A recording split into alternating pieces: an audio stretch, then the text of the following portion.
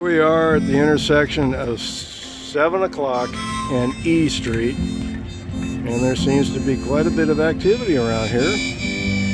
Um, look at all them bikes over there. Yep. Well, that's a oh, kissing booth, that's why. Okay. Anyway, that's it.